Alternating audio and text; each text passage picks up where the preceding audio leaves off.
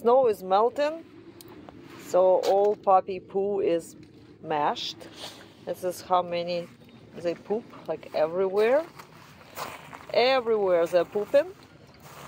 So if I will not clean it two three times a day it will be you will not be able to see the ground because they just like to poop all the time. It's like everywhere everywhere everywhere.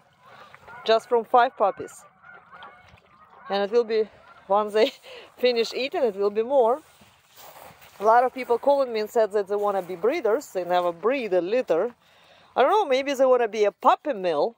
Puppy mill breeders they keep them in the crates like a chickens. And poop of the puppies or dogs just fell through the wire flooring i mean if you want to be abusive. But yes it's required a lot of cleaning a lot of work and a lot of communication. Because cleaning is not enough. You need to communicate with puppies. Communication and then cleaning